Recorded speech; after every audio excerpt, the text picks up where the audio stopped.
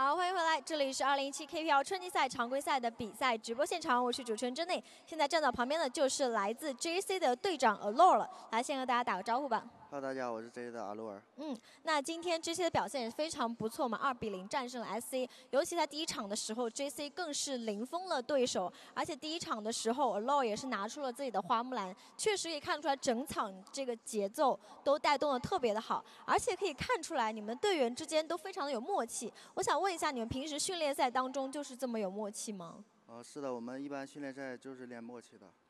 训练赛就是来练默契的，但是你同样作为这个队长嘛，那你们平时队员会不会发生纠纷，或者是有心态爆炸的时候，你会不会想办法去鼓励他们呢？嗯，一般他们心态爆炸的时候，我都会鼓励他们嘛。嗯，怎么鼓励呢？让他们不要急呀。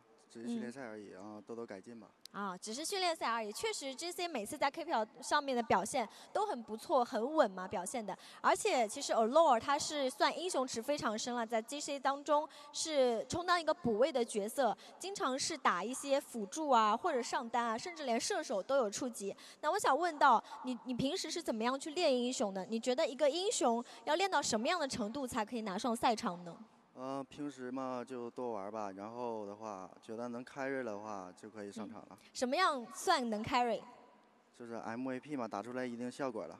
啊，就平时在训练赛当中能打出 MVP，你觉得就可以拿上 KPL 了，对吗？嗯，是的。嗯，那也是感谢 Lord 接受我的采访，也是恭喜到 JC 今天获得了比赛的胜利。同时呢，各位观众朋友们可以上微博关注 KPL 王者荣耀职业联赛，在置顶微博里向你喜爱大神进行提问，他有可能就会出现在赛后采访哦。那么接下来把时间交给评论席。